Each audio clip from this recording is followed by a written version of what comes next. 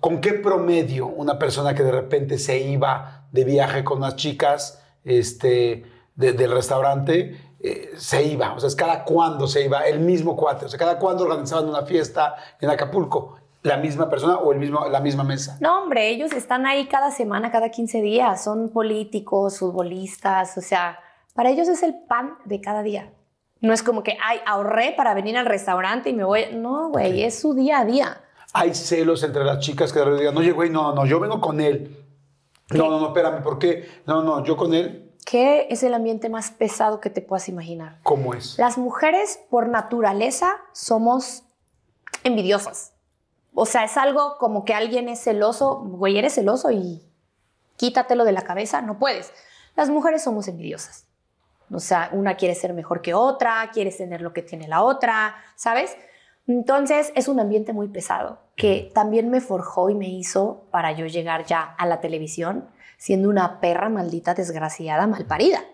O sea, Porque ellas me hicieron así. O sea, eh, nadie, yo cuando entré, nadie me hablaba, nadie me dirigía la palabra, me rompieron mi ropa, me abrían el casillero. O sea, ahí aprendiste, ahí aprendiste a aventar Todo lo las que maletas, hice. Ajá. las maletas al Sí, jacuzzi. todo lo que como se las hice. aventabas en Acapulco Shore. Exactamente. Ajá. Eran unas mierdas.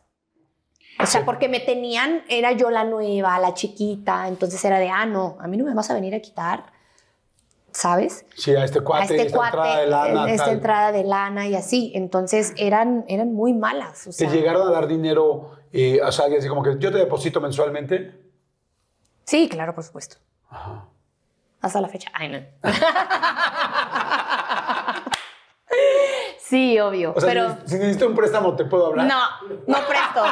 Regla número uno del manual, mujeres, no presten jamás dinero a los hombres. Nunca, never in the life. Ok, entonces el rollo de los celos y el rollo, muy territoriales todas las mujeres. Claro, estás, haz de cuenta que estás entrando a la jungla con mujeres que una quiere ser mejor que otra y una está más buena que otra y es una lucha constantemente.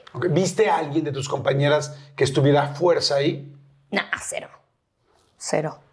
Todas estaban porque querían, por decisión. necesidad, todas- porque quieren, sí, claro, obvio. No, pero es que es, es un restaurante, no era... No, y para entrar es un pedo, ¿eh? O sea, fue mi primer casting en la vida. O sea, te ponen, te hacen casting. O sea, de que si estás guapa, si no, si sí. Te digo que no lleva solicitud, es que estés guapa. Oye, y por ejemplo, cuando estabas con un cuate que te decía, oye, pues yo sí quiero estar contigo en la cama, tal, te- ¿cuán- ¿cuánto me costaría? ¿Me cuesta tanto? Tal. Dime, dime. Fíjate que, por ejemplo, cuando me pasaba eso, al final terminaban siendo mis novios. O sea, nunca fue como, oye, te pago tanto y tenemos. No. O sea, era como, bueno, ya, seamos novios, me das al mes. O sea, Pero se negociaba antes de acostarse por primera vez, como, a ver, espérame, espérame, espérame. Sí, vamos a ser novios. Sí, claro, obvio. Pues si no lo estás conociendo en la iglesia. O sea, en realidad sí era cambiar dinero por sexo, pero a largo plazo. Pues ni a largo plazo, porque de verdad yo pensaba que él iba a ser el hombre de mi vida. Te lo juro. Así lo pensabas. Claro, yo decía, no, ya aquí, de aquí soy. Y una vez que estabas con alguien, ¿ya no estabas con nadie más? ¿O porque, por ejemplo, No, ya no. Ya no estaba con alguien más. Te voy a dar un ejemplo. Si, si yo te conociera en el lugar, nos vamos de fiesta. Yo te digo, oye, man, no manches, la paso increíble contigo, Sí. tal, tal. Oye, me dices tú, sí, Jordi, pero pues yo necesito mis gastos, Claro. tal, la chingada, X, ok, bueno, perfecto. Hacemos nuestra negociación. No se ponían celosos, o sea, porque yo, yo sí estaría así nervioso de como, madres, ahora se va a ir de fiesta a otra fiesta, ahora se van a Cancún con los de la mesa de al lado. No, por eso te digo que se puede pagar tu... Exclusividad. No, se paga tu cubre. O sea, ok, sí, pero yo no quiero perder mi trabajo, entonces paga mis cubres. Que es que la niña doblete y trabaje por ti. Sí, o sea, pero entonces, una vez que quedabas con uno, ya, Ya no no. ibas a ningún otro viaje más que con él. Claro que no, ya no trabajaba, ya no hacía nada, ya era... Oye, ¿y recuerdas algún viaje que hayas dicho, no manches, cómo nos la pasamos, qué increíble fue? Tenía un novio eh, eh, divino adorado, bueno, feo, pero divino adorado. Este, y de hecho me fui a vivir con él y nos íbamos a casar y... O sea, pero primero se fueron de viaje. Sí, nos fuimos de viaje. eh, ¿A dónde se iban? Acapulco, casi siempre Acapulco, que era como lo, lo más cercano. Lo más cercano. Acapulco, ajá. Ok. Sí. La mayoría estaban casados, me imagino. Sí, pues eran. Este güey no. O sea, este güey era el hijo como del. Ok. Como de uno muy chingón. Ah, exacto. Ok. Entonces, este, me fui a vivir con él, nos íbamos O a sea, casar. sí te enamoraste de él. No, pues sí. Pongamos que estaba, Ah, ¿Cómo? No, pues sí. estaba, estaba cómoda, comodísima y quería ese estilo de vida. A ver, Jordi, yo te estoy diciendo que yo vivía en, o sea, güey, andaba en pecero. Y después de andar en pecero, andaba con este güey en, en Porsche, en Lamborghini. Que si estaba cómoda, que si me gustaba, vale verga, estaba muy cómoda. Quería eso, yo quería eso en mi vida. Pero no había encontrado la manera de hacerlo yo. Ahora la encontré y lo puedo hacer yo. Pero en ese momento, esa era mi manera de vivir la vida que yo quería. Iba a hacer lo que fuera por tener esa vida. Ok. Dices, no sé si me enamoré o no, pero sí en ese momento era como que me ayudaba y me sentíamos, ambos estábamos cómodos. Sí, muy cómodos. Yo O sea, estaba muy ¿nunca te enamoraste? No, sí, no te digo que yo me enamoraba de, de- de cada güey con el que soy. Yo decía, este es el bueno, este es el amor de mi vida. Y sí, realmente decías como, me voy a casar y vamos a tener hijos y vamos a ser felices. Sí, es que yo me enamoro, a mí me dicen ojos azules y yo ya estoy enamorada. ¿Alguna vez estuviste así en el departamento que te pagaban todo chingón y sin ir a trabajar nada? Sí. ¿Cuánto tiempo? Mm, tuve un novio que, que quise muchísimo y hasta la fecha sigo hablando con él.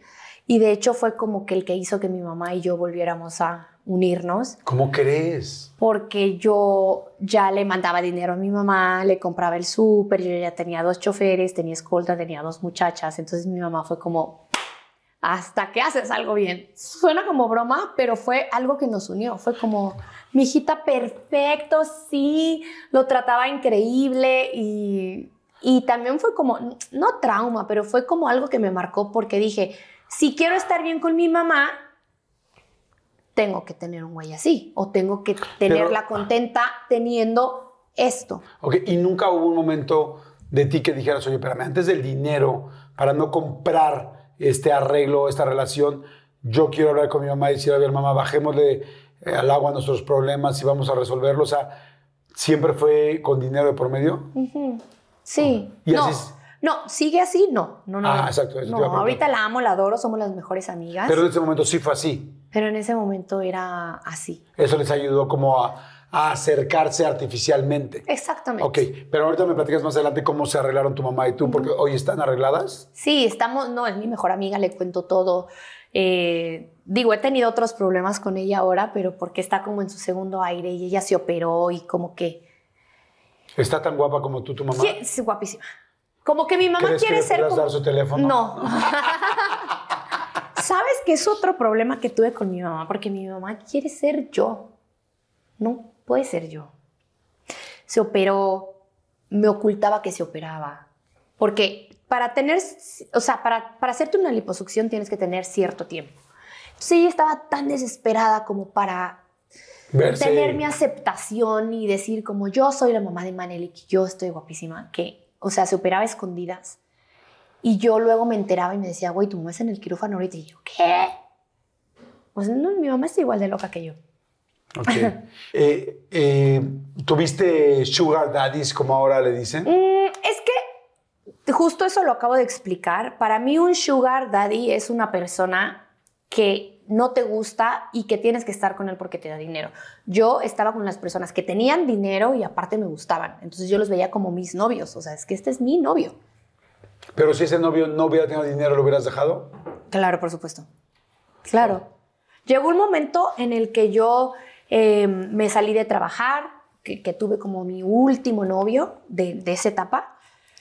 Yo me salí de trabajar y regresé a la misma maldita miseria o peor. ¿Al mismo restaurante? No, no, no, miseria de, de, de donde vivía, de vida, o peor que antes. O sea, de lo que yo venía huyendo, fue peor. O sea, yo ya no vivía en una casa fea, ¿no? Yo ya vivía en una tipo como vecindad, pero no en un departamento, sino en un cuarto. ¿Pero por qué? Si venías de todo esto de estos chicos, Por tonta. ¿Te gastaste el dinero o qué? Dinero fácil, dinero rápido. Se fue, se fue rápido. Claro, y no tenía idea de qué, qué hacía yo con ese dinero. No creo que no tenía ni una cuenta de banco. O sea, no, Ok. sí. ¿Y por qué regresaste a ese momento? Porque terminé con el güey con el que andaba, yo dejé de trabajar, me sentía muy segura con él, eh, terminamos. Yo le hablé a mi mamá y le dije, oye, ¿sabes qué? Necesito regresar a la casa. Y me dijo, así como te saliste, con los mismos huevos que tuviste, ahora te quedas afuera y le haces como puedas. Y yo, pero no estabas muy feliz con lo que te había dado, con el súper, con el dinero, con los choferes. Arréglatelas tú. Y... Entonces regresas y dices, rento un cuarto. Rento un cuarto, eh, comiendo atún, latas de atún, así, o sea, no. ¿Cómo te sentías de ese cambio de haber tenido una vida, pues, de un nivel tan alto y de repente tener, o sea, No ¿fue tener- más difícil que antes? Mm, sí, porque al final me di cuenta que todo era prestado. Todo era prestado, nada era mío. Yo me sentía muy chingona porque te digo que tenía las escoltas, las muchachas, eh, los choferes. Güey, así como te lo daban, así te lo quitaban. Nada era tuyo, lo entendí.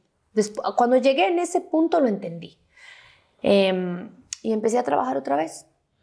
Ahora me fui a un restaurante que se llamaba, que era lo mismo, pero otro nombre. Y, y empecé a trabajar ahí otra vez. O sea, lo mismo.